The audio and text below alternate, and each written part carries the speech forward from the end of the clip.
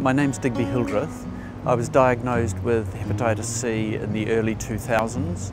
A lot of my peer group from the 70s were getting in trouble and dying, developing other diseases. Uh, and I uh, got frightened by that and thought it was time that I actually had myself checked up. Well, I, I didn't feel sick at all.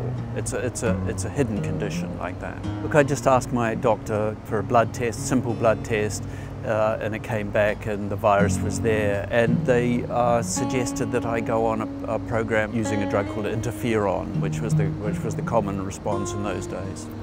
It was pretty grim. It took all my muscle strength away. I couldn't walk up a flight of stairs without feeling fatigue in my limbs, uh, exhaustion generally, um, irritation, just general pretty, pretty um, horrible really.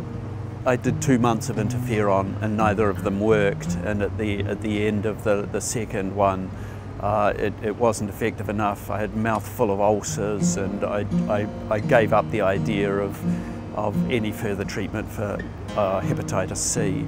It just uh, gave up hope really. Early in 2016 a whole new range of drugs uh, became available. I was a candidate for that. The symptoms that I had developed of the hepatitis C by that stage, which was severe itching in my arms, arm and neck, uh, went away after a few weeks using that uh, new protocol of drugs, the new range of drugs and I knew I was being, I knew it was working, I knew I was being cured. It was absolutely fantastic. For the itch to go for a start, uh, which was maddening uh, and just, just a terrible condition to have, the idea that I might be free of that was absolutely wonderful and free of this condition that I'd had for 40 years.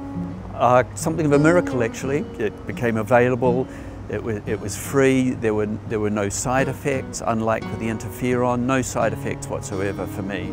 Uh, a godsend.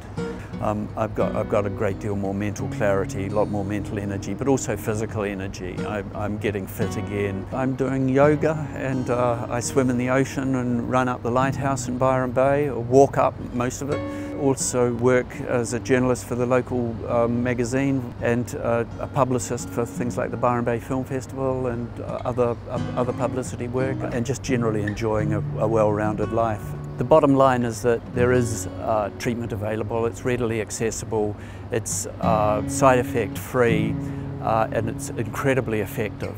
Um, and I would encourage anybody who think they might have been exposed to this virus to go to their GP and ask to be checked up.